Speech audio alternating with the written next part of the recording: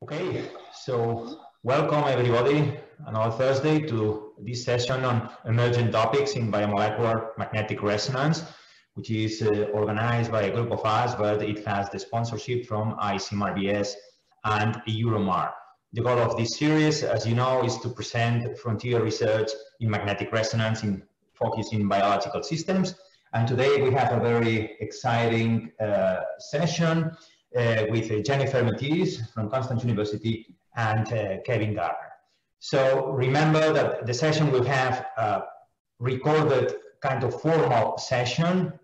We ask not to record anything. It, it will be recorded and distributed. And then another informal, uh, informal session, more open. In case that you had any question, please uh, raise your hand or type it in the in the question and, uh, uh, and answer uh, module, and it will be it, it, will be answered by by the speaker. That said, it is uh, my pleasure to introduce the, the first speaker of, uh, of this session, uh, which is Jennifer Mathies from Konstanz University.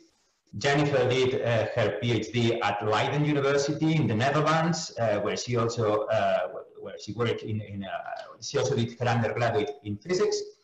And then uh, she moved to the MIT to do a, a postdoctoral uh, stay with Bob Griffin for about five years or so. And, uh, and then she got, uh, she got uh, to, the, to this position in the University of Konstanz, where she's now an eminent group leader, a young group leader, and her interest is in EPR and DNP, and uh, particularly in, uh, in uh, iron-containing proteins. And um, she's going to talk today about the mystery of the double peak in the EPR spectrum of transferrin. So I think I don't share anymore. So um, today I, I would um, like to tell you about the mystery of the double peak in the EPR spectrum uh, of transferrin.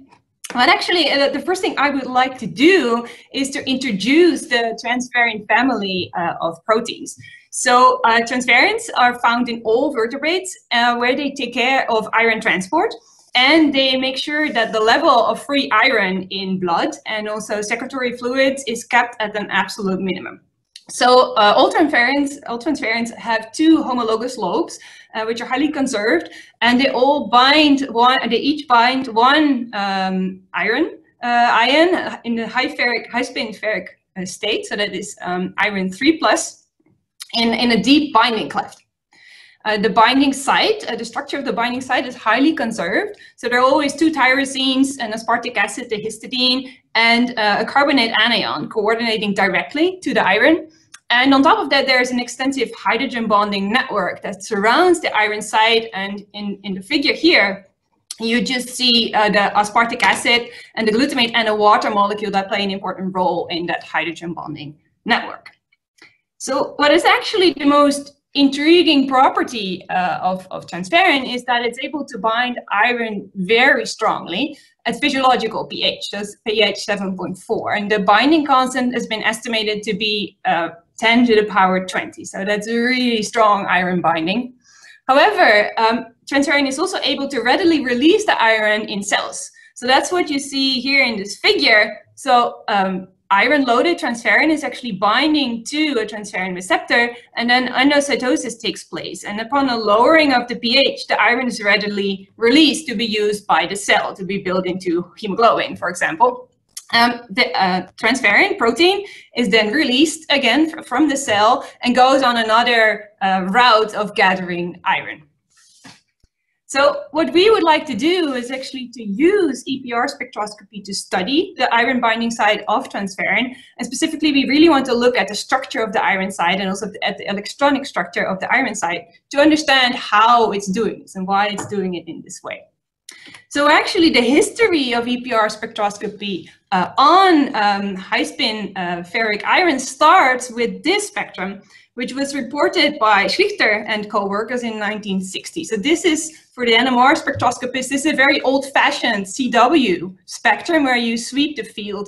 And because you use field modulation to record it, what you're actually measuring is the first derivative of the, uh, of the absorption. So um, actually, this is a spectrum that was recorded um, of iron in glass at X-band. So that's a microwave frequency of 9.7 gigahertz. And Slichter and co-workers, they describe the spectrum as follows. They say, we found a broad smear extending from an effective G value of 10 at low fields, so that's here, to above an effective G value of 1, somewhere here, with an intense and sharp resonance at uh, effective G value of 4.27. So actually, they correctly assigned um, this spectrum as arising from what we now call a high spin uh, ferric, ferric iron. So actually, um, high spin ferric iron has a spin 5 over 2. Um, the iron is D5 configuration and an S ground state, which means that in the ground state, there is no in-state orbital angular momentum. This means that we expect a very weak or no G and anisotropy at all. However, there will be a significant zero field splitting, and typically this is 10 to 100 or even more hundreds of, of gigahertz. What the zero field splitting does, it splits the six magnetic sublevels of the spin is 5 over 2 spin system into three Kramers doublets, which we call plus minus 5 over 2, plus minus 3 over 2, and plus minus 1 over 2. So we can take the zero field splitting traceless, which means that we can express it in just two values, D and E. And, and the, the ratio of E over D always goes between 0 and 1 over 1 over 3 if you at least adhere to this convention for labeling the axis. If E, if E over D is 0, this means that dx and dy are equal. The tensor is axial, and in that case, the splitting between the Kramers doublets is 4D, uh, 4D and 2D. If um, E over D is one third, uh, that means that dy and dz are equal, but opposite in sign, and the tensor is called rhombic. So actually, if you measure high spin iron 3 plus at X band, you're in what's called the weak field limit. The Zeeman term is much, much smaller than the zero field splitting term. In this uh, situation, the spectra depend only on the ratio of E over D. And the reason for that is that with your small microwave quantum of 9.7 gigahertz, you can only induce transitions within each doublet, but not between the doublets. Each doublet has an anisotropy, which is nicely uh, plotted or, uh, with these so-called rhombograms, which you may have seen before. Here on the x-axis, we plot the ratio E over D, and here we plot the G value, and here the behavior or the dependence of um, the principal values of the effective G tensor for each, uh, each doublet. This effective G actually incorporates the effect of the zero field splitting into this value. So that uh, there's the anisotropy is different for each of the three doublets. So these rhombograms are really convenient if you want to interpret such a spectrum as the spectrum show, uh, reported by Slichter. Because now we know that this feature arises from the plus minus 1 over 2 and the plus minus 5 over 2 doublet. And we know that this feature here must arise from the plus minus 3 over 2 doublet with an E over D value that approaches one third. And for this reason, this kind of feature is also called a rhombic iron signal. Also, the smear, we can now make some sense of it because what it means now is that this spectrum arises not from a single value of E over D, but from a broad distribution of E over D values. And actually, this kind of spectrum is really typical for um, high-spin ferric iron in amorphous materials uh, or frozen solution of chelating agents or proteins. So the transferrin spectrum actually looks very, looks similar, has similar features. There's the GS9 feature, and there is the central feature around GS uh, 4.3, and there is also the smear.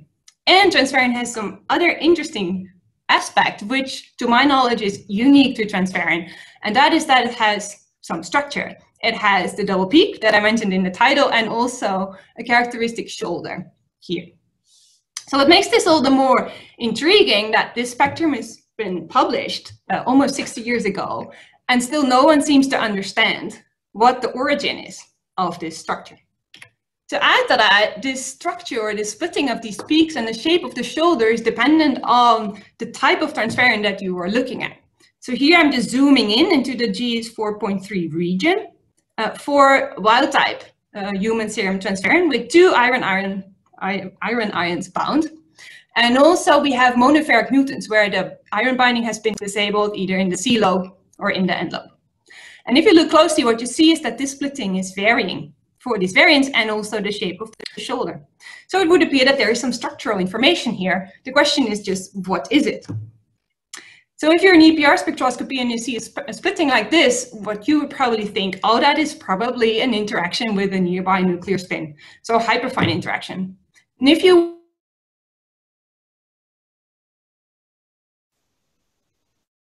And actually, this kind of spectrum is really typical for um, high spin ferric iron in amorphous materials uh, or frozen solution of chelating agents or proteins.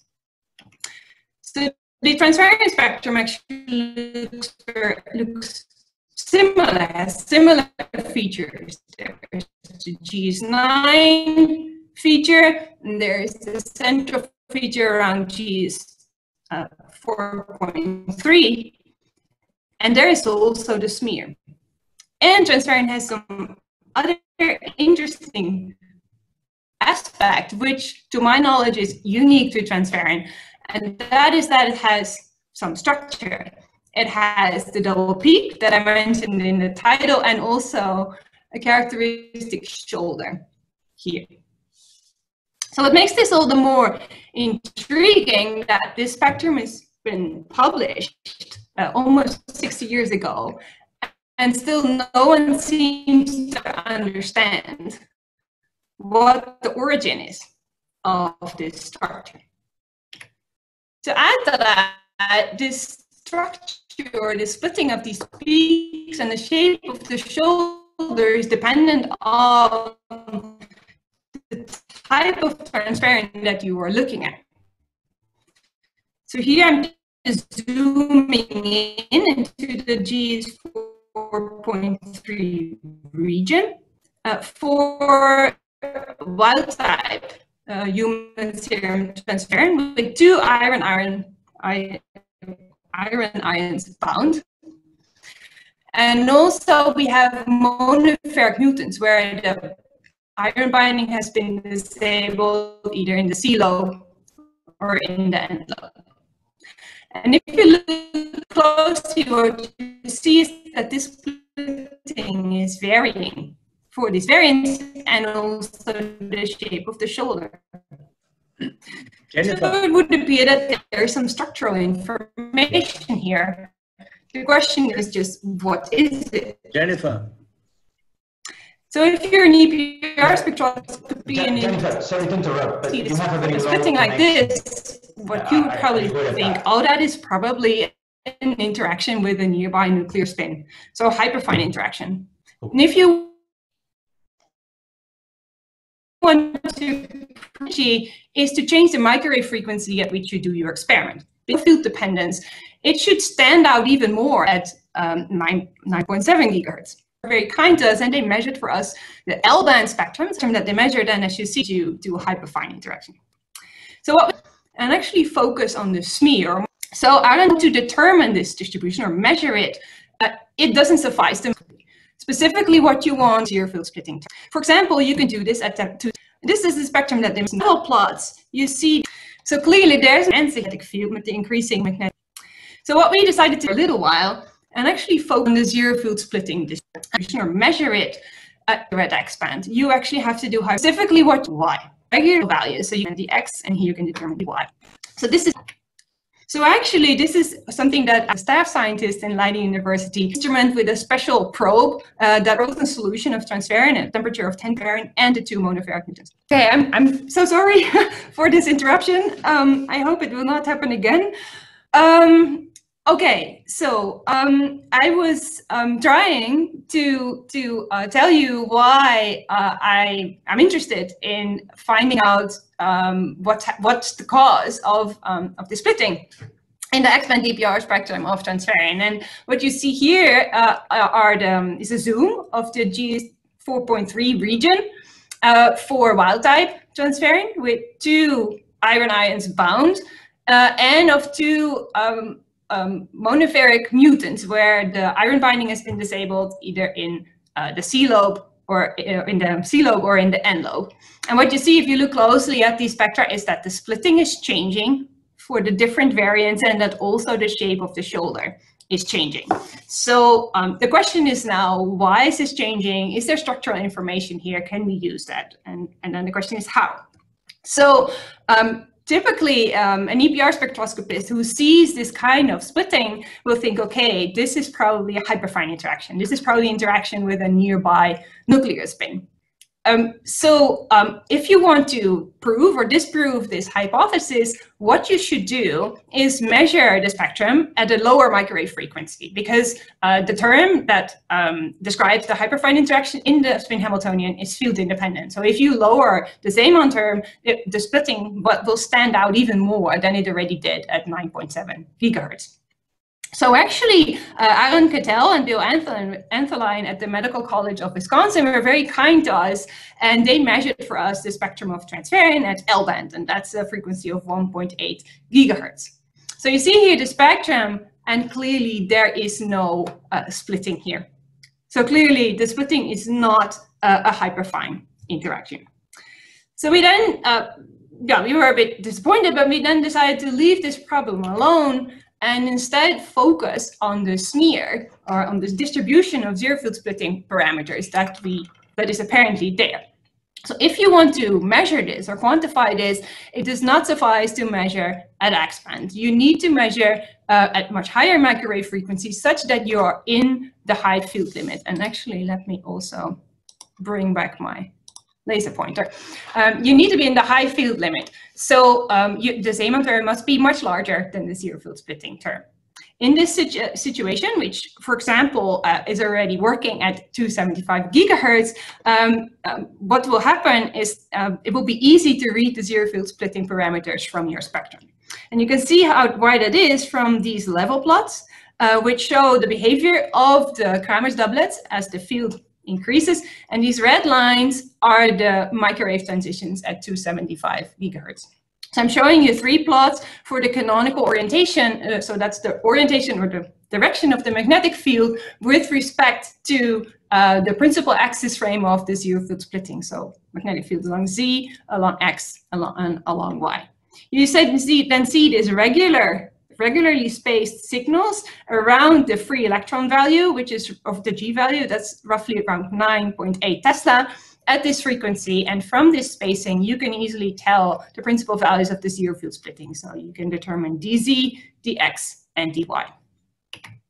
So we actually did measurements at, um, at high frequency um, at 275 gigahertz. And these are measurements that I actually did already during my PhD in Leiden on the home built 275 gigahertz spectrometer with a, a, a probe that's specifically dedicated to CW spectra of, uh, of protein. So it needs to have a very high sensitivity in order to measure the spectra. So this is, and this is a frozen solution at 10 Kelvin. So what you see immediately here, and again, this is the wild type transferrin and the monoferric mutants is that we can now distinguish the, the, the iron bound to the uh, N lobe and the C lobe by its zero field splitting parameters. So that, that's already a very nice result. But then if you look more closely, you see that there's more going on. For example, the width of the lines here in the spectrum for uh, iron C, so uh, iron only bound to the C lobe, is much smaller than that for, for the N lobe.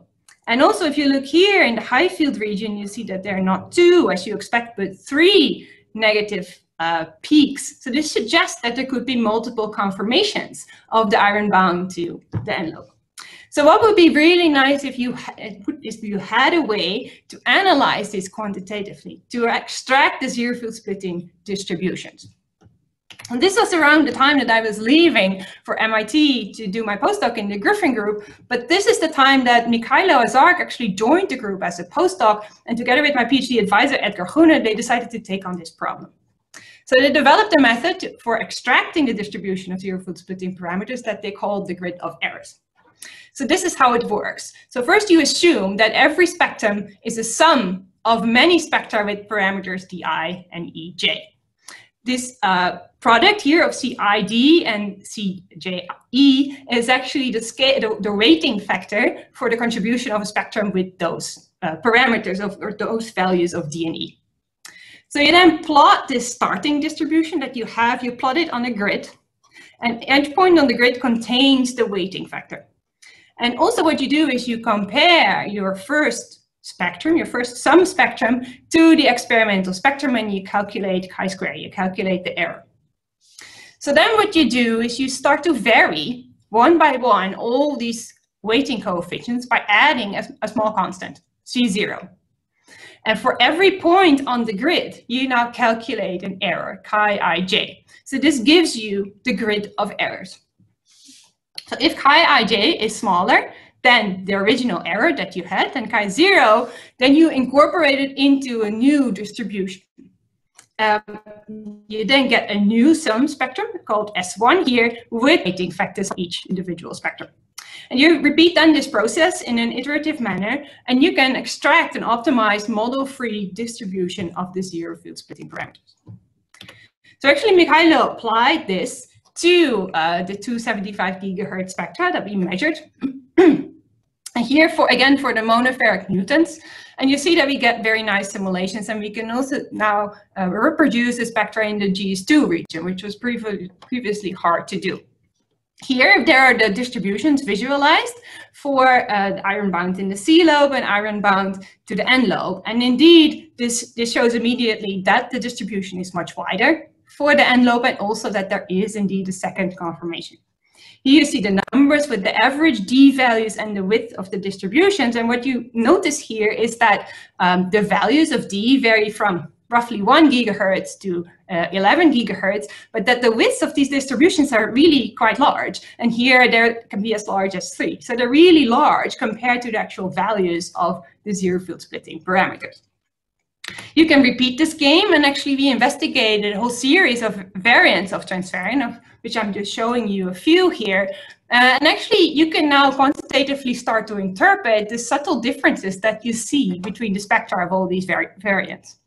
And what's also another conclusion that you can draw from this data is that it's not only the average zero field splitting parameters, so not only the average DNE, but also the distributions that are characteristic for a particular variant. So now we came at a moment where we wanted to submit the grid of error methods to uh, an important test.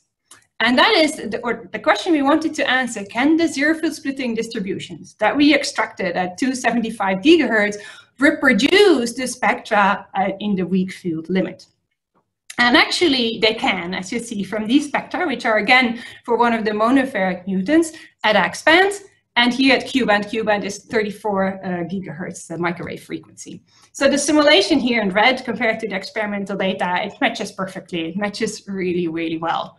And also here at X-band, we reproduce the GS9 region. We reproduce the smear, we reproduce the shoulder. So actually it looks really good. There's just one thing that is missing, and that is the double peak.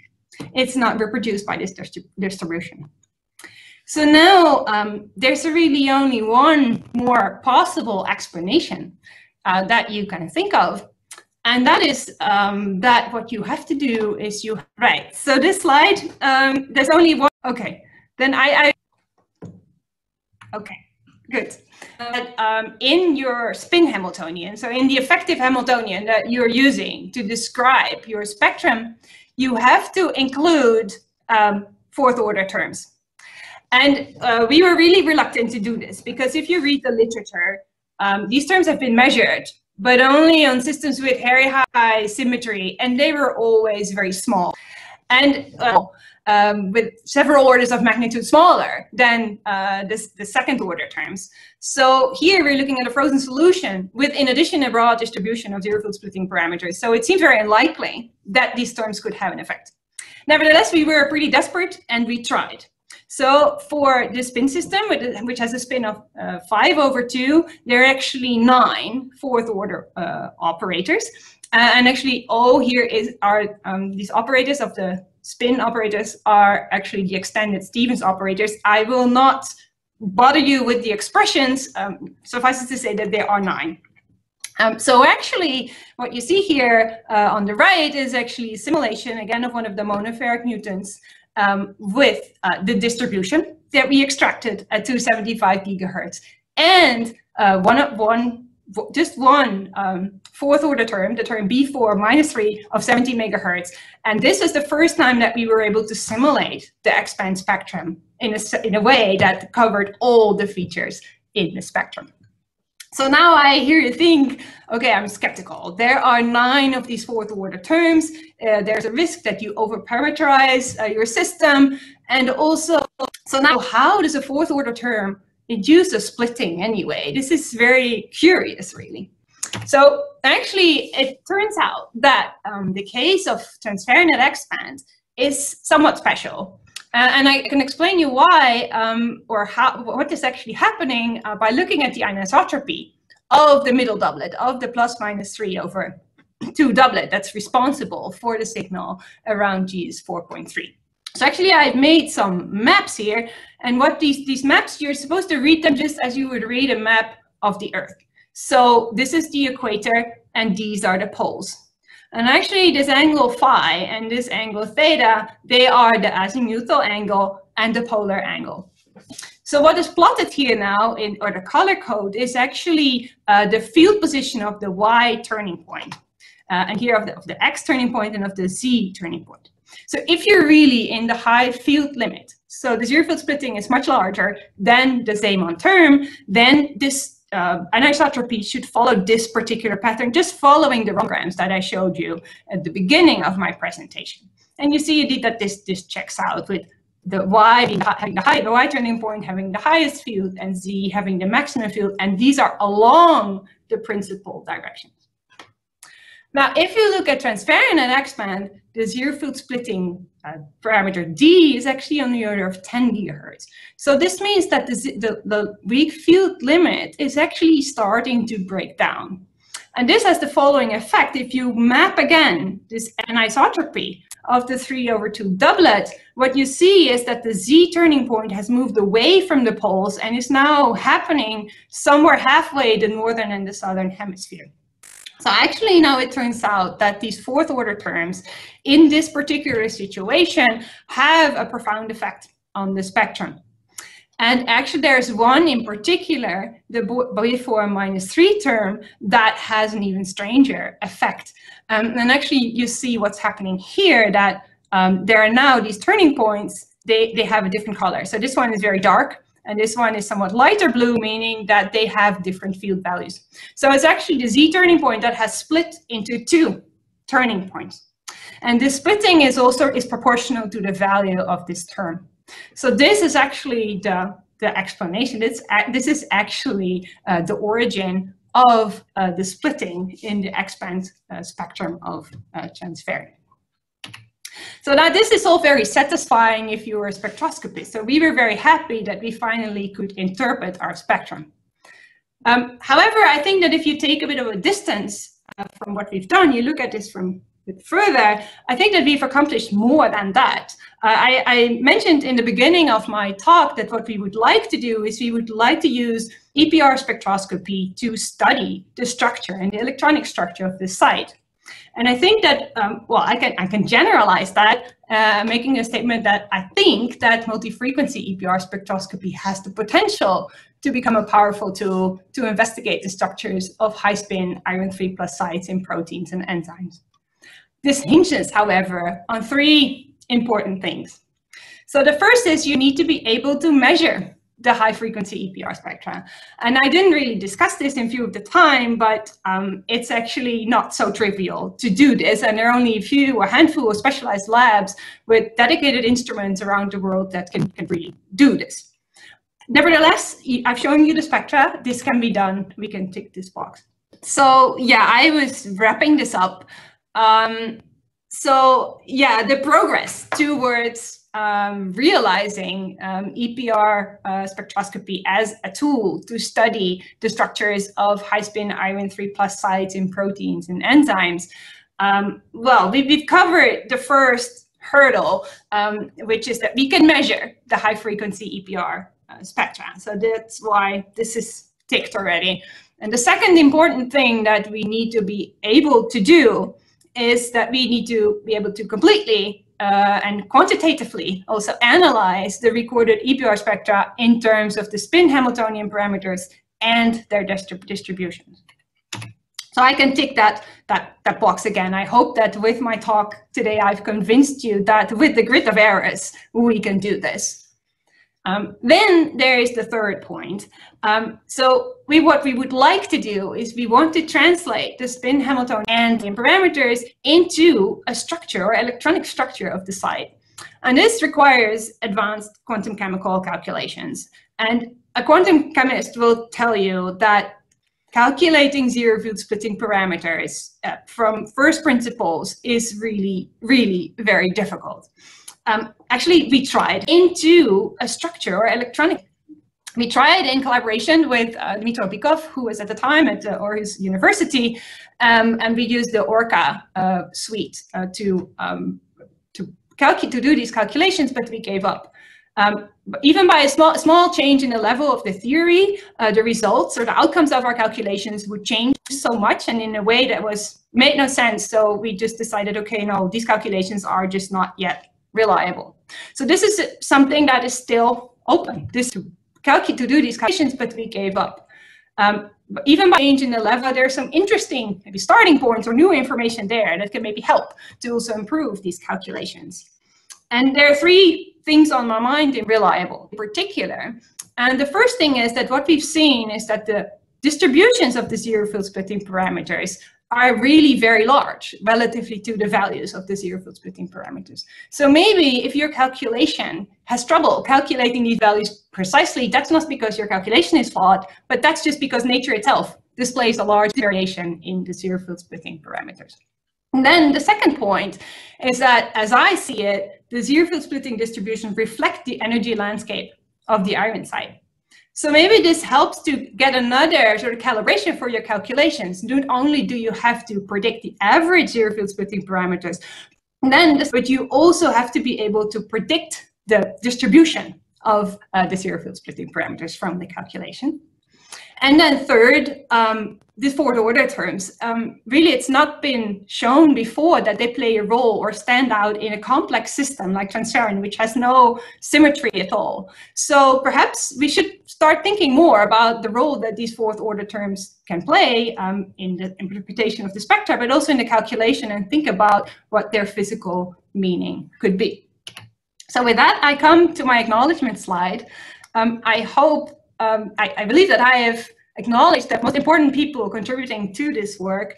Uh, so with that, I come to my acknowledgement slide.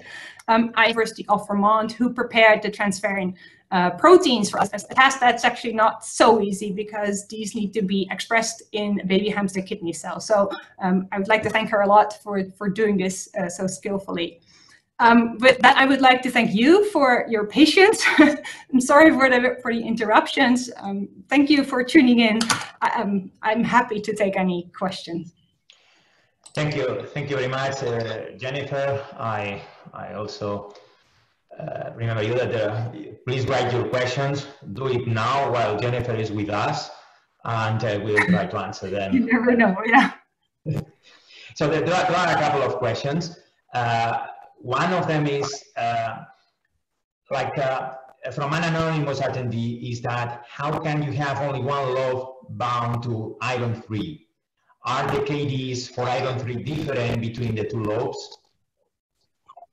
you never know, yeah.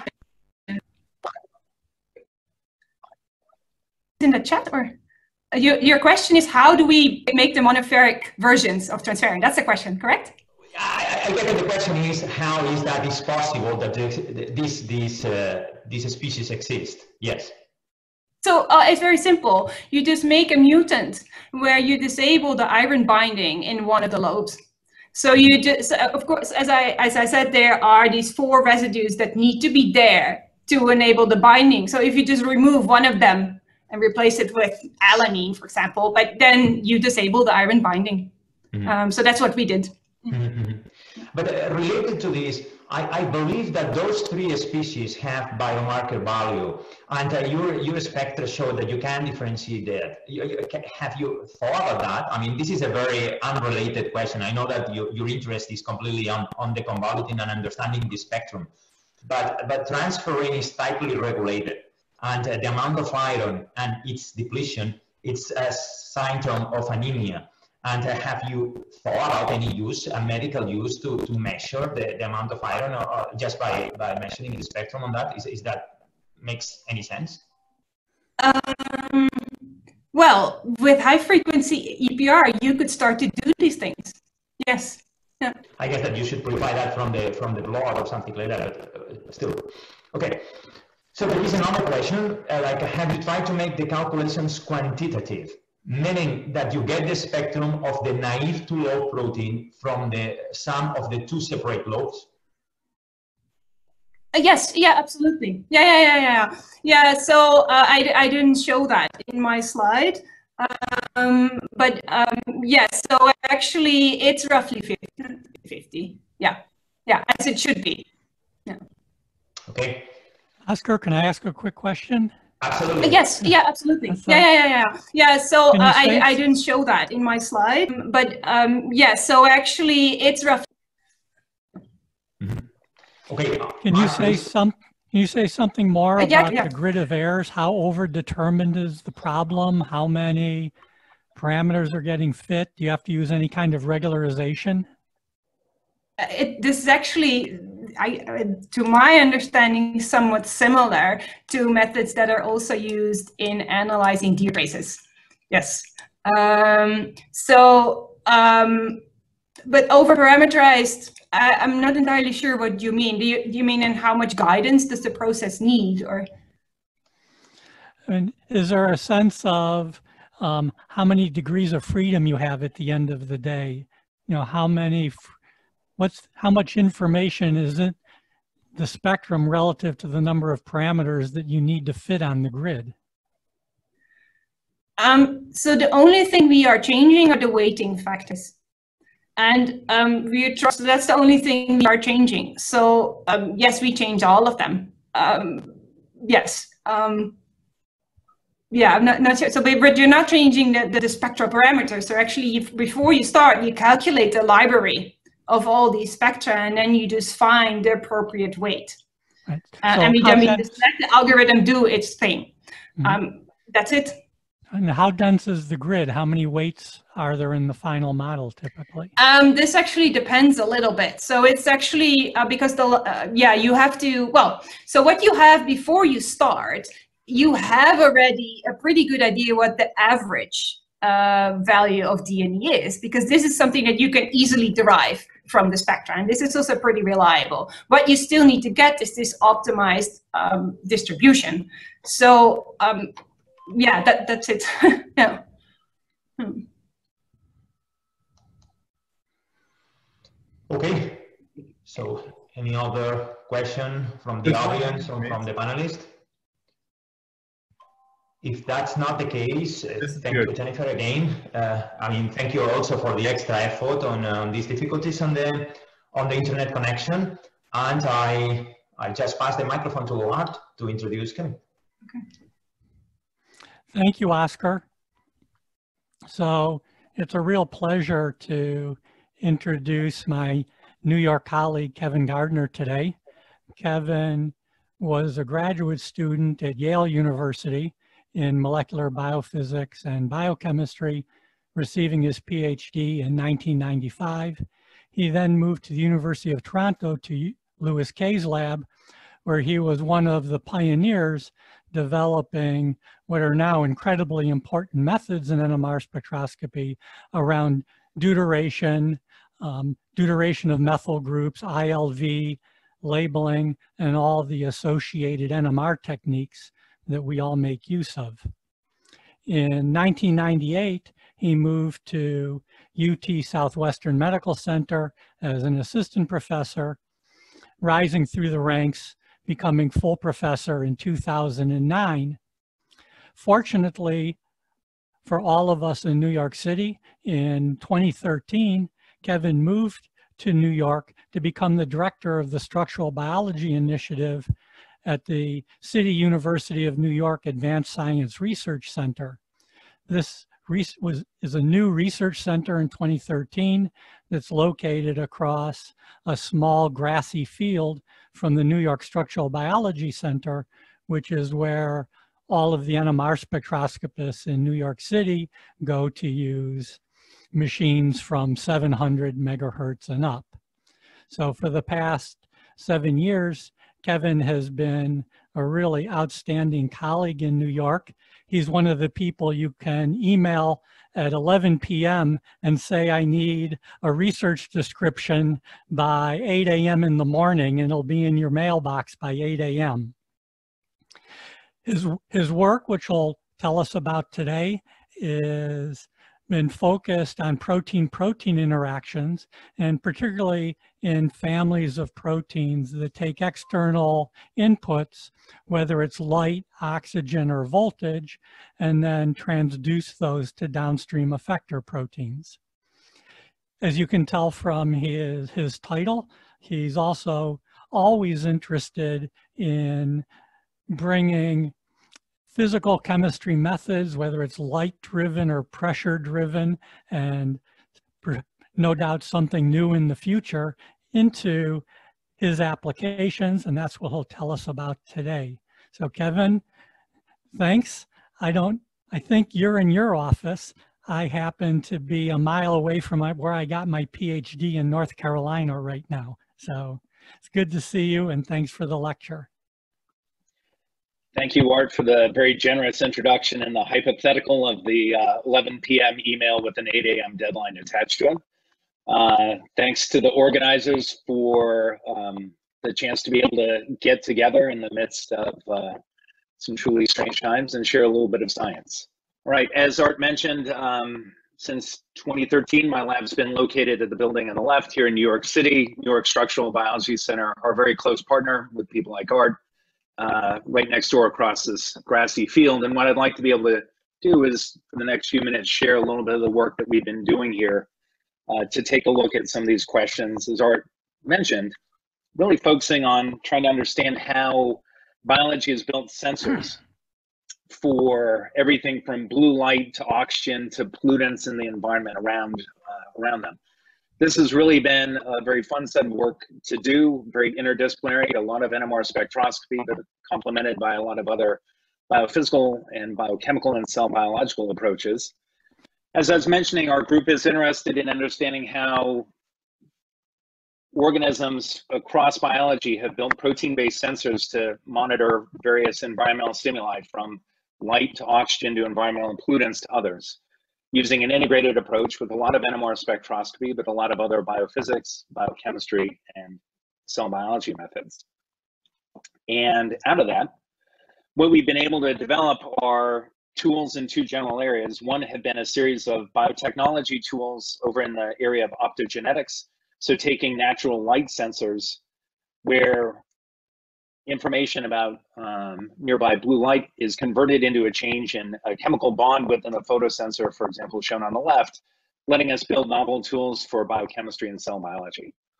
The other area that we've really pushed on have been natural oxygen binding proteins, especially from the human system, HIF, hypoxia inducible factor system, where nature has left us a nice cavity within the middle of the protein that's been amenable for small molecule intervention, which has led to tool compounds for cell biological studies, animal studies and now uh, rapidly heading towards the clinic um, as being commercialized by Merck as an outcome of our work uh, as novel anti-cancer therapies.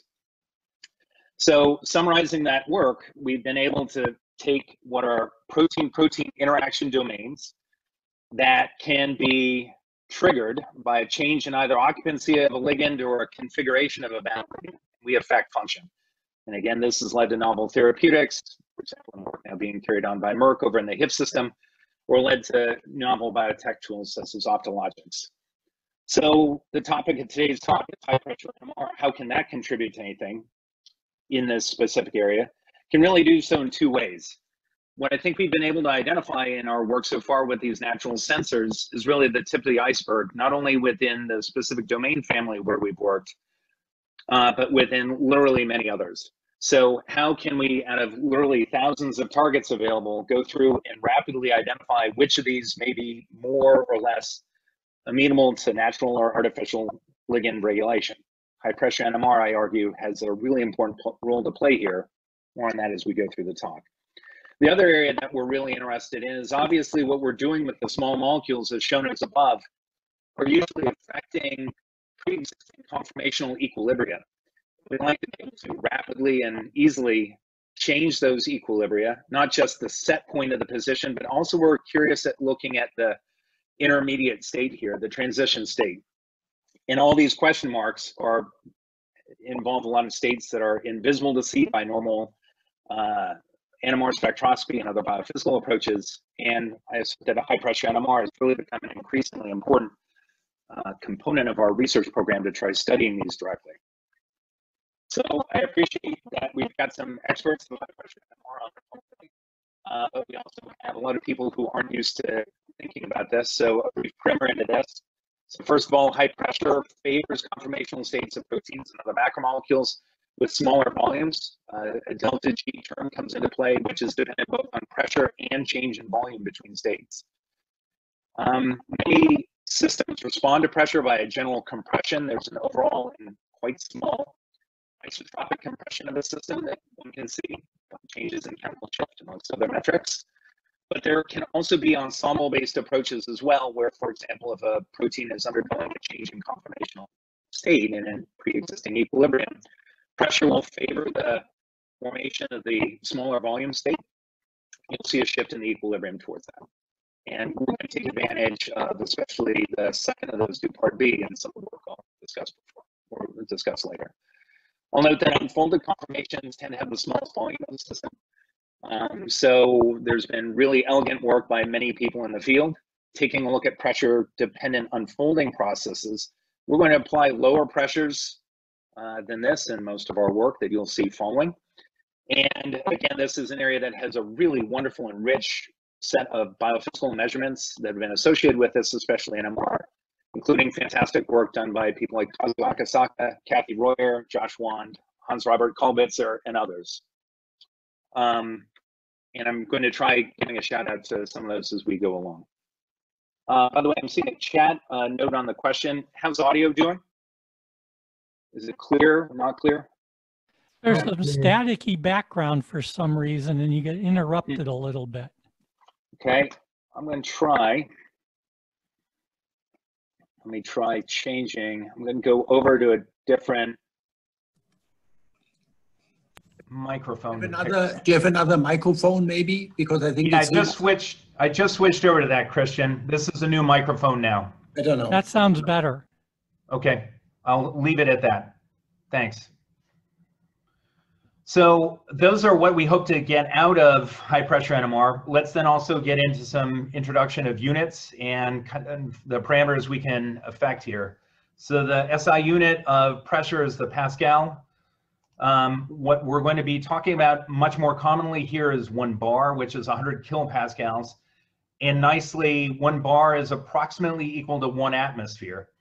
So if we think about how we could do a high pressure NMR experiment and calibrating this in terms of uh, physical parameters we can see in the day-to-day world, I'll underscore that uh, if we go into the deepest of the oceans, for example, the Mariana Trench out in the Pacific, we're going there to a depth of approximately six miles. That's a pressure range of about one bar, one atmosphere at the top, up to about 1100 bar at the bottom of the deep. Uh, what range do we need to be covering?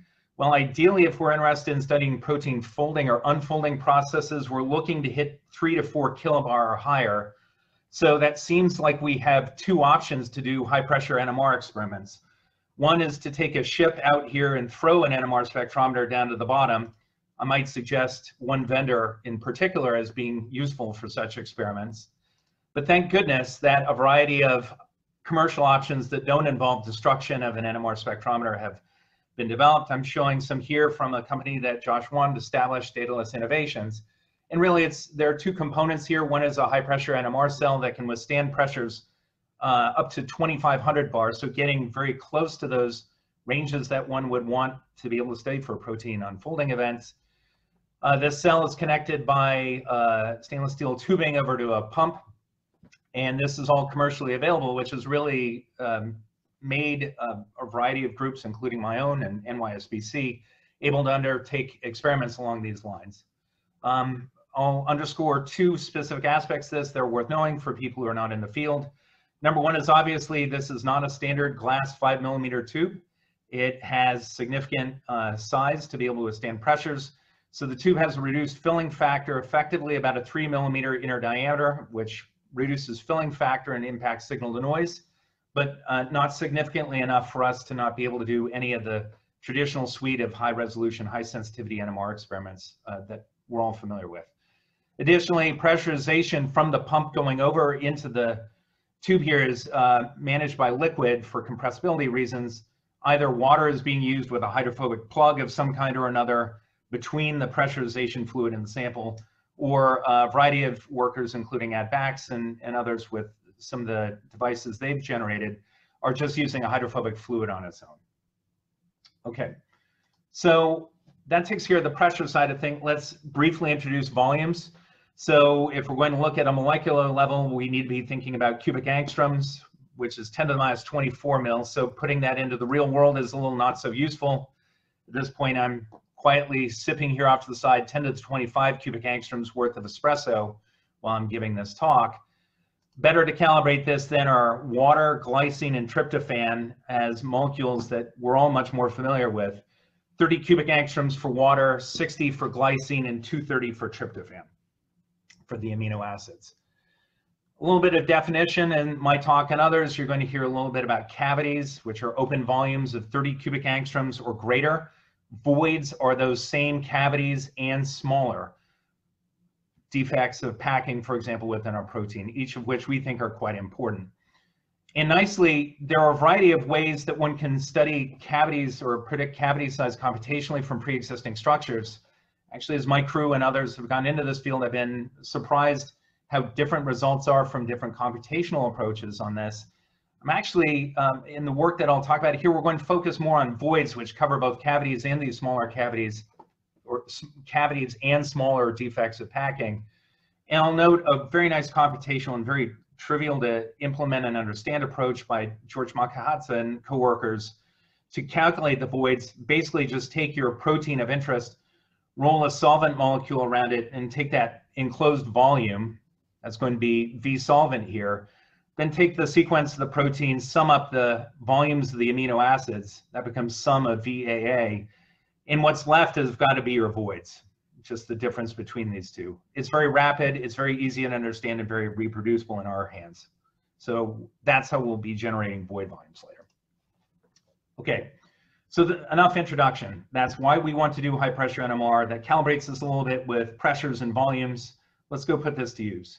So the first of the two areas I really want to talk about then are this question of prioritizing among these thousands of potential targets, small molecule regulated protein-protein interaction domains. Where do we start for looking for natural or artificial ligand regulation? And with that, that gets us over to introduce the hypoxia-inducible factor HIF system, which has been very well studied within parts of the cancer community in particular. It was recognized by the 2019 Nobel Prize in Physiology or Medicine by, uh, for Greg Semenza, Peter Ratcliffe, and Bill Kaelin, each of whom were responsible for discovering large swaths of what's shown on this slide here, the fundamental biology of HIF. It's a really elegant and uh, beautiful system to be looking at in many regards from regulation.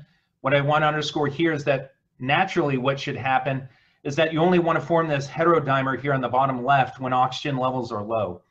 Um, unfortunately, some of the mechanisms that are used to keep those levels of HIF low are defective in certain, um, with certain somatic mutations if so, HIF is constitutively turned on. Your body or your cells believe that at all points it's starved for O2. And that becomes problematic because the HIFs control about 200 gene products that are wonderful for addressing short-term needs for addressing, uh, for example, injury. But on the long term, these are leading to overexpression of a variety of gene products which are tumor promoting as well. And so what we, in this case, this is really a long-term collaboration between my group and Rick Bruick's group at UT Southwestern at the heart of this, and we'll introduce additional players in a minute or two, really want to go take a look at how the HIFs interacted with each other, and critically, how these protein-protein interaction domains known as PAS domains at the heart of this were able to interact as a potential route where we might be able to get some small molecule intervention to stop one of these runaway cells. So as part of that, we used a conventional NMR structure-based uh, uh, or structure determination route. Uh, we used NMR-based uh, fragment screening and then began high throughput screening, X-ray crystallography, and a variety of other approaches to be able to go take a look at these pieces of the HIFs and whether they might be regulatable by small molecule ligands. Really, this is work in my group that was pioneered first by Paul Erbel and Carlos Amezcua, and then uh, really pushed on and taken to completion nicely by Tom Scheuermann and Jason Key. What they found is that a piece of the human HIF2 alpha, one of the isoforms of the HIF, um, carries around with it a big bag of water. So there's about 290 cubic angstroms worth of cavity in the middle of the protein. I'm showing you here a high resolution crystal structure of ours with eight crystallographically ordered water molecules in the middle. And again, 290 cubic angstroms, to put that into perspective, is uh, big enough to hold about a glycine and a tryptophan worth of, of size. And we and others in the field have speculated that this is uh, a site for a natural ligand, which has not been well characterized by us or others. Uh, that didn't stop us from developing artificial ligands for this system, initially from an academic side of the operation. Using high throughput screening, we could find compounds that would go into this cavity and reshape it, triggering an allosteric disruption of HIF function. That led us to uh, help establish a small molecule drug company called Peloton Therapeutics, work here, and it really nicely carried on by Jim Rizzi in particular, to go develop even higher potency compounds and more efficacious than we could develop in the in an academic lab. That work has now been, uh, Peloton was acquired by Merck Pharmaceuticals last year. Uh, there are now compounds that are advanced versions of this in phase three clinical trials. The FDA has recently approved this as a breakthrough drug. So um, I'm expecting that we'll see drugs targeting uh, a very difficult class of target, protein-protein interaction within a transcription factor that had its genesis uh, really in NMR spectroscopy. So that said, I think there are a few details here that are worth discussing with an audience like this. So first of all, that cavity that really inspired us to be able to go do the drug discovery I've got to be honest, we did not see that in an initial high resolution solution structure of this target. Um, there were some differences in side chain rotamer location, and we also did not do explicit uh, water protein NOE refinements such that the cavity itself and the structure that we got, which is overall quite similar to crystal structures which we got later, there were enough small rearrangements in side chain location that the cavity does not exist in our original solution structure. That said, NMR-based fragment screens told us clearly small molecules were going into the core. What we needed here and what is standard today for cavity identification is still really high resolution crystal structures now increasingly cryo-EM. But I think as we can all appreciate, these are time consuming and not always 100% successful. So we really wanted to see if there were ways that we could bring in high pressure, for example, to get us data even quicker to be able to assess whether a target was really worthwhile investing time and effort in or not. That said, even with the awesome power of X-ray crystallography and cryo-EM, there's still a critical state that none of us have been able to see experimentally, which is that cavity I showed you before is completely internal. We have nanomolar potency compounds that need to be able to come in and out of that crossing six angstroms of protein with no access in and out of solvent. And the only way we've ever been able to see any of those transiently open states has been computationally in some molecular dynamics work that we did together with Valerie Daggett a few years ago. As we and others have gone on through the field now, we're seeing as we get more high resolution structures, more and more and more cavities. But again, still the, we're chipping at the tip of an iceberg here. We've got many more of these systems than in both human and in uh, a variety of other non-biomedically relevant systems that we're all interested in, either for intervention for therapies or develop new um, small molecule sensors. So how can we go through and identify these targets and sites much more rapidly? And this is really work that's been carried on by a group of three people in, in my lab, uh, really pioneered and, and developed very independently by Donald Gagne, uh, then a postdoc in the lab shown at the top. He was assisted by Jim Aramini, our NMR facility manager at the ASRC, and a graduate student, Roxana Azad, came aboard as the work was moving along from the initial start. And what they saw is as they've now gone through and applied high pressure and just done a variety of simple NMR experiments, nitrogen proton HSQCs, what you typically see out of the literally now 60 complexes and apoproteins that we've squeezed are a lot of behavior like you see on the left. As you apply pressure, you see linear changes in chemical shift. However, what we see for a fair number of the systems, especially the ones where we suspect ligand binding, we start seeing uh, non-linearities. And I'll remind everyone back from the introduction, what are the two ways that pressure can chiefly impact molecular conformation? One is by a general compression. That's what I believe we're reading out here on the left. However, in other cases, we can see a shift in conformational equilibrium. And that's what we're seeing over here on the right. This is not a protein unfolding event. Pressures are too low amongst other things, and the chemical shifts are not heading towards the unfolded state. What we are seeing here is we think we're beginning to see transient openings of these cavities or, or voids in the system as the protein is rearranging with response to high pressure. So Donald went through and took a look at a variety of ways to quantitate this very rapidly. Again, our objective was to be able to go do analyses that did not require chemical shift assignments that did not require triple or double or triple labeled samples. Let's keep it simple. And out of that, he was able to take these changes in chemical shift as a function of pressure, fit them to a simple three-term equation where we can pull a parameter here, Ci. That's a coefficient showing the dependency of the chemical shift on the square of pressure, giving us this nonlinear term. We can simply plot those as a histogram Again, no chemical shift assignments. We do not have residue specific information. This is an evening on the NMR with automated peak picking and, and analysis after the fact. And what Donald could see very early on is systems, for example, like our HIF2 alpha PAS-B system, which had a large cavity, we saw a broad heterogeneous response in these CI parameters with respect to pressure. However, when we would go apply high affinity compounds that would head into the cavity and reduce its volume substantially, we saw a much more homogeneous response. So Donald went through and took a look at a variety of statistics to quantitate this. We settled on standard deviation as we uh, go across these distributions here and looked at molecular features that these could correlate well with in the protein structure. And that got us back over to that void volume calculation from the Makhatadze group that I mentioned before, where we could see nicely that the standard deviation was showing a decent and positive trend correlating with void volume, as we saw here.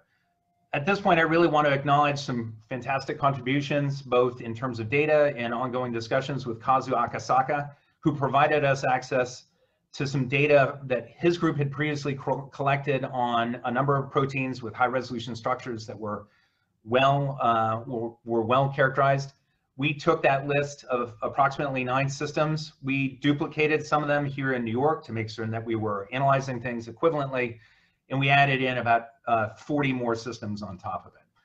We see some occasional outliers, for example, like lysozyme here, which we attributed this to being quite thermostable.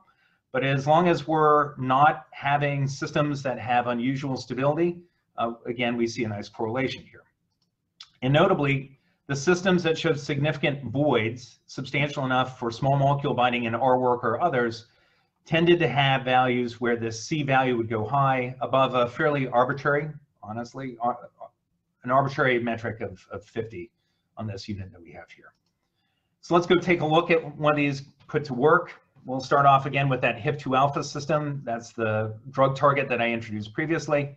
We know what the apo structure looks like in uh, quite a fair amount of detail. We know what co-complex structures look like in quite a amount of detail. We can take a look at these histograms, again, of the apoprotein or of two complexes with high affinity ligands, and we can see that the addition of the ligands leads to narrowing of the response of these CI values.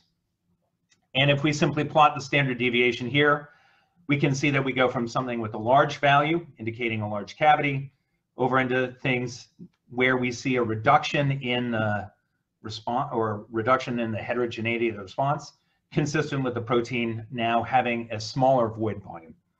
I'll note there's more than one way to do this. We can go, for example, go put in artificial mutations into the system and reduce void volume, but get something that doesn't respond naturally. We think that's telling us something about additional voids that are being generated. This D1, for example, is a Rosetta redesigned version of the protein, which we think is doing a good job emulating the overall structure of the ground state. But it's telling us that clearly some things in that first high energy state that we can access by high pressure are, are quite a bit different. If I just go through and summarize those data as we have here, we can now look at other systems. So for example, ARNT is another player in the HIF system, again with small molecules present.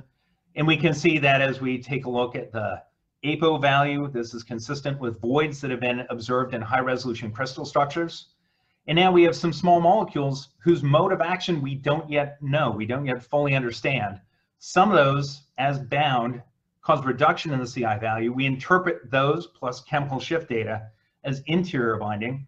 But some of those, while still binding perfectly well, don't cause a change here. Again, consistent with chemical shift information, we think this is binding to a second mode on the outside of the protein, not internally.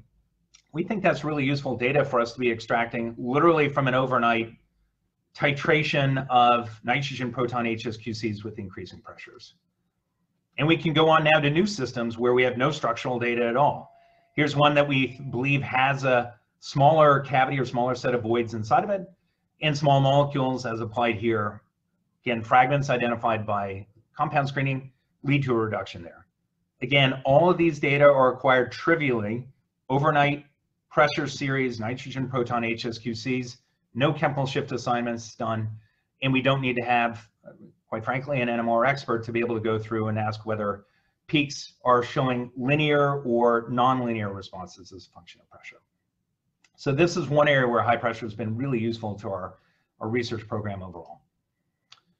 In the last few minutes, I want to switch gears briefly to talk about the second question. How can we buy a signaling point or impact the kinetics of the system that we have going back and forth here? Again, these are involving some, some things that are difficult to observe, especially the transition state, obviously, as we have here. To get into this, I want to go back into the ARNT system that I showed before. it has uh, approximately 100 cubic angstroms worth of internal cavities, several of which are hydrated, some of which are not inside of the protein. As part of a mutagenesis study on this, we ended up discovering the fact that a single point mutation could cause the protein to uh, go into slow conformational exchange with a second state. So for example, if I pull one diagnostic peak, have a nitrogen proton HSQC shown here on the left. As we now introduce this Y456T mutant, we can see the protein splits into two conformations that are in slow exchange with each other. Other point mutations are silent on their own, but when we combine them together, we can now move the conformational equilibrium, frankly, wherever we want from something that is virtually 100% back in the wild type state to something that's virtually 100% over in a new second conformer. So work done by then a graduate student in my lab, Matthew Evans, quite some time ago, addressed what that was. And what I'm showing you here is a bit of science fiction. It's a PyMOL morph in between the two conformational states. What you're looking at is a five-stranded anti-parallel beta sheet on the outside surface of ARNT PAS-B in one of the two structures, the native structure, let's stop the movie, let's go here. That's the native structure here. And uh, I've colored every other amino acid side chain blue, green, blue, green to help underscore which are on the outside, which are on the inside of the protein. So in the wild type state, the blue residues are on the outside.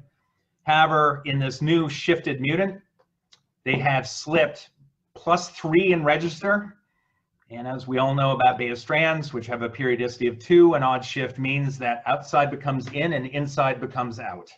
And so now the green residues are on the outside. So notably, the cavity is present in the wild type conformer, but is filled in by this plus three slip.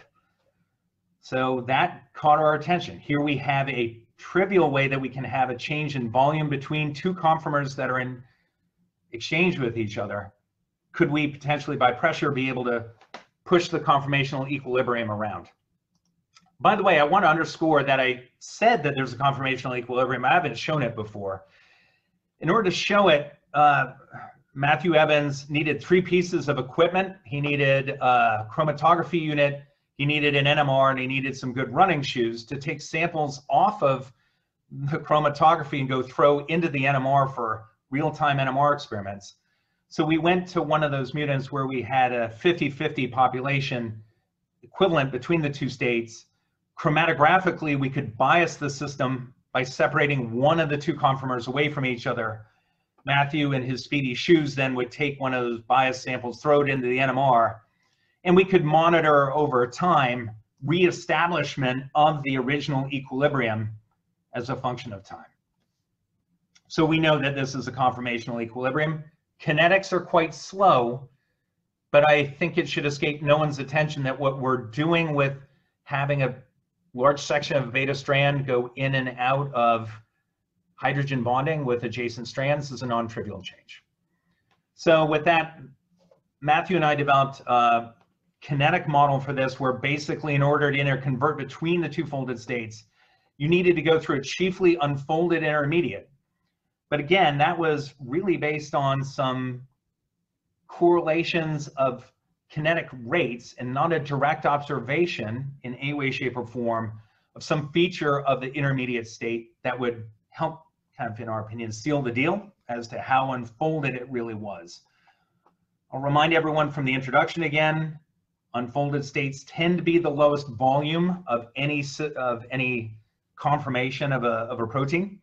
So that again suggested that by pressure, not only would we potentially be able to change the bias of the equilibrium between the two states, but we might be able to play some games with kinetics by changing some aspect that would be dependent on the volume change between, say, one of the folded and conformers and the unfolded intermediate. And this is where Jim Hsu came into the picture, um, working together with Jim and Donald initially to acquire initial data, but then really doing some very elegant work as part of his PhD thesis to prove this. He was able to go through to start with equilibrium steady state studies where we could go through and monitor by nitrogen proton or by carbon proton HSQC changes in population between the two conformers of the system. And like I mentioned, the wild type state is larger than the so-called slip, the plus three slip, because it has an internal cavity that this one does not. Consistent with that expectation, we could see that pressure led to a biasing of the equilibrium away from the wild type state over to the slip state. We were surprised in some of the high pressure NMR aficionados who are on the call today. One thing that really caught us by surprise here is that in order to model these changes in equilibrium properly, we had to go through and not only account for a change in volume between the two states, but a change in compressibility. Uh, for the non-high pressure experts, this is basically getting into aspects of the mechanical response of the system to the applied pressure stimulus that has not normally been in our readings. And again, experts, please feel free to ping me or flame me as you, as you choose, either in the Q&A or by email afterwards if, if we're missing some things along these lines. But we have not seen traditionally a lot of um, changes in compressibility between folded conformers, especially folded conformers of the same protein, as being a major variable that needs to be looked at. Here we are seeing some changes in compressibility, which we think are related to the fact that one of the two forms of the protein is voidy, has, has voids, and the other one does not. With that, Jim uh, didn't want to do what Matt had done with this Rube Goldberg type device of chromatographic isolation and, and speedy tennis shoes. He instead took the Daedalus commercially available high pressure system and used it for pressure jump experiments, taking advantage of the fact that the kinetics on this system are quite slow. So you're looking at here a series of real-time NMR spectra, one carbon edited 1D proton NMR spectra are being shown. Time constant on, the, on this is roughly four minutes between scans. So we've clearly adjusted temperature in particular to be able to go uh, take a look at this trivially by just taking a commercially available pump, resetting pressure and watching in real time what happens. Um, I'll note, as I think many of you are aware, Ad Bax has gone into this area and has developed uh, custom systems for high pressure with much better time resolution than this. And we look forward to trying some of these experiments in the system over there. And with that, Jim was able to go through, jump from various pressures to final set points and monitor changes in the conformational equilibrium as a function of time. Notably, uh, kinetics are dependent on the final jump pressure that you go to as one would expect. And this, and again, we have to use terms not only looking at the change in volume, but the change in compressibility between now the two folded conformers and an intermediate state. And these are, uh, again, consistent with this being a, a, largely unfolded system that's got to go visit, giving rise to something that we have, have here. So we start off with a wild type conformer that's got the largest volume. There's a slip state that has a smaller volume. We have a un, mostly unfolded intermediate state here. And then we've been able to unfold the system chemically and we can uh, underscore that we know what the volume change here is as well. So we can get actually quite quantitative about how unfolded, mostly unfolded is. All of this I think is really useful. Again, as Art mentioned, I'm a big fan of physical chemistry. I like being able to see how this can be used to study a switching system like this. But from a practical standpoint, this also gives us insights not only into how we might be able to control some of this by mutation or small molecule binding and changing the equilibrium, but also critically the kinetics. A switch or sensor is no good to anyone if it takes minutes to hours to respond to a stimulus. We need things, for example, in a variety of biochemical and cell-based studies that respond much quicker than this. I think high pressure NMR is giving us some really great insights to be able to do so.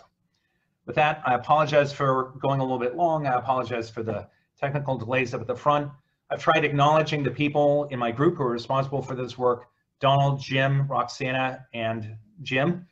And I want to again acknowledge contributions from Kazuo Akasaka in discussions. With that, thanks. I'll be glad to take any questions you might have. Thank, thanks very much, Kevin.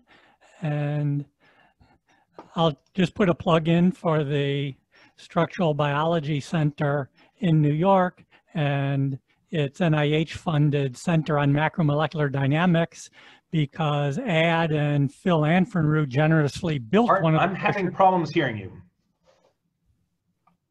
Hmm. Okay, that's better. Okay. Uh, the Structural Biology Center in New York and its Center for Macromolecular Dynamics by NMR now has one of Ad and Phil Anfinrud's pressure jump apparatuses. Um, we're about to try it on some of Kevin's samples, but it's this is a facility available then to basically everyone who's interested, particularly NIH funded researchers, but not strictly limited to that. So get in contact with me if we don't blow ourselves up, if you're interested in using facilities at the Structural Biology Center. With that, um, we have some questions coming in. First, can the effect of chemical shift be explained in terms of a nonlinear viscosity dependence on pressure? that good question. That has not been something that we've seen as uh, a necessary component to include here. Again, we have data across now uh, 50 to 60 systems where we're seeing uh, the, again, that general linearity, um, the general linearity of the pressure response is not consistent with a viscosity effect, but instead we're seeing um, this mix of responses that are due more, much more to conformational aspects. Does the system contain voids or cavities or not? Great question. And on the biology side, what's your strategy for finding the natural ligand for the cavity? So um, for finding a ligand for the cavity, we've used a variety of approaches here, ranging from um, taking advantage of the fact that uh, we can generate large quantities of some of these receptors, hang them on uh, the side of columns and build affinity uh, columns, and flow a variety of different uh, extracts or lysates over those and look for what's differentially retained. We've also done a fair amount of looking uh, by, let's call it candidate-based approaches, where we've gone through, we know, for example, in a pathway, what small molecules have levels that could be up or down regulated, for example, by enzymes that are controlled by those pathways. Uh, both approaches have been useful for us to go through and address questions such as are being asked here about the natural ligand. So Kathy Royer, uh, one of Hi, the ex real experts listening, makes a comment that you don't change the viscosity very much in two and a half kilobar, and its complicated function of pressure can actually decrease a little bit with pressure at 10 degrees. Thank But you, her Kathy. question, her question is whether your crystal structures are cryo-cooled crystal structures, um, because she thinks of water-filled cavities as non-cavities since they are full and wouldn't contribute much to delta Yeah. V. Correct. So uh, at this point, 90% of our structures are, of our crystal structures are cryostructures. Um, we have acquired some data to uh, at uh, room temperature and variable mm, variable temperatures along the way. Uh, a colleague of mine here at the SRC, Dan Keedy, Dan is an expert actually over in variable temperature crystallography uh, and has been great at helping us get into the area a bit. So I like where you're going is that they're, the water-filled cavities are non-cavities since they are also, you know, since they could also be, always be full there. Part of me is wondering what state that we're pushing up into for this second folded conformer to get the nonlinear chemical shift changes. Part of me thinks that what we've got here is the, the access to the transiently open state, like I mentioned from molecular dynamics. Um, yeah, curious, we've mapped where the changes are occurring, obviously, and some of those data are, are consistent with this, but I'd like to get more information before talking more rigorously about it.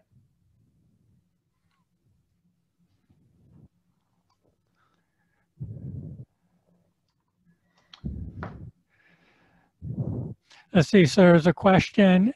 Oh, Kathy has answered or uh, followed up. In the kinetics experiment, if the observed rate is sum of forward and backward constants, so the downturn you get might be manifestation of contributions from the backwards rate constant? I guess that's a question. Let's talk offline, Kathy. Um, I think it's not just the backwards rate constant that's occurring there. We are seeing, as we push that system up at two kilobar and above, we're beginning to see some destabilization. So I feel most confident about that at, up, at values up to about 1500, where we don't see a significant contribution from the back reaction.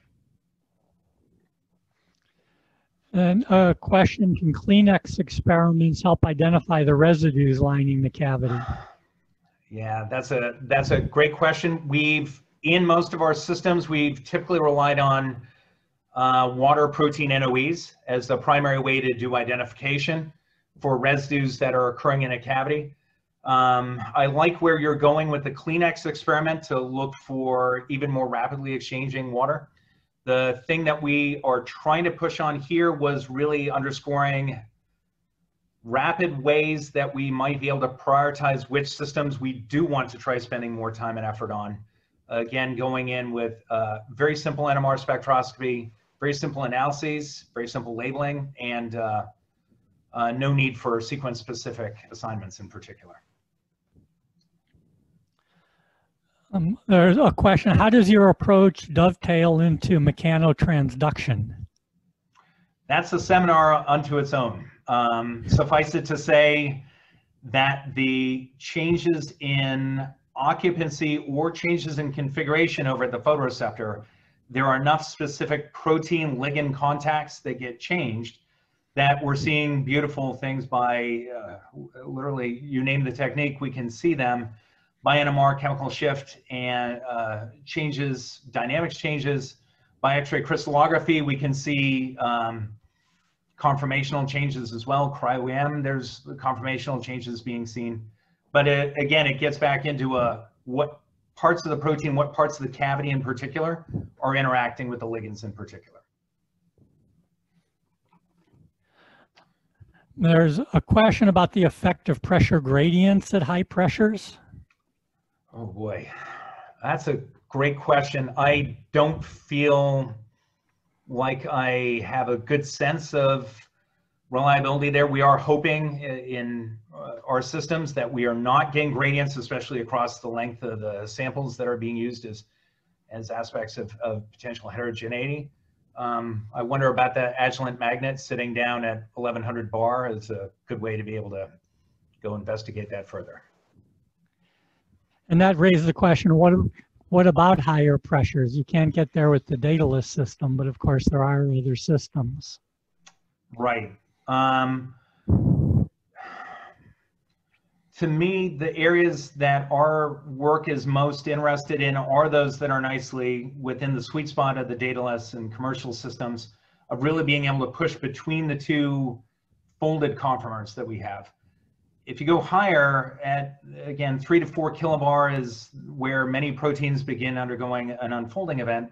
I think folks in that community would benefit from and have used a lot of the higher pressure systems uh, they're oftentimes using biophysics other than just NMR spectroscopy as part of it.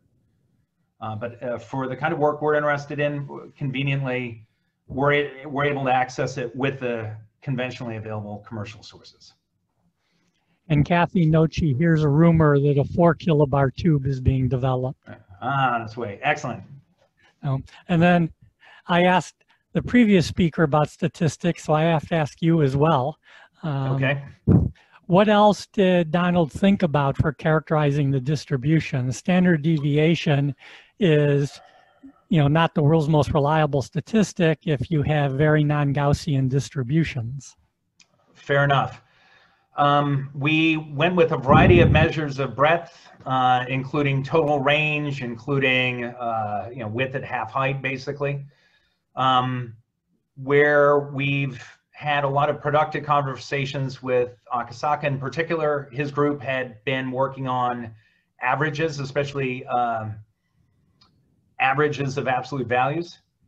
We felt that the breadth of the distribution is um, the most useful metric that we could get here, especially given that we've got signed values, right? Things can be breaking to the left or to the right. We wanted to make certain that we were taking a look at uh, ways to represent breadth of the distribution rather than just changes in centroid. That said, I'm certain that this is an area where um, I'm certain with uh, at least three sigma certainty that more work could be done.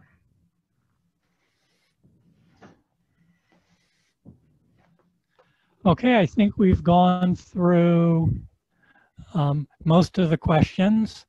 Um, Ashish Arora, for those who want to follow up, put into the chat a reference to a paper, The Effective Pressure on the Viscosity of Water, Nature, volume 215, page 1053, the year 1967, for those who want to follow up there. Let me thank Kevin again for a fantastic seminar and turn things back over, I guess, to either to Oscar to close things today?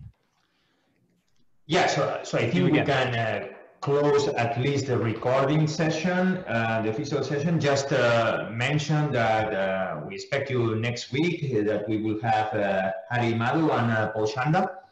And uh, yeah, and I also would like to thank uh, both the speakers today and uh, also this was a kind of a, an incidental session in terms of of technical aspects. So an extra thank to both of you for that.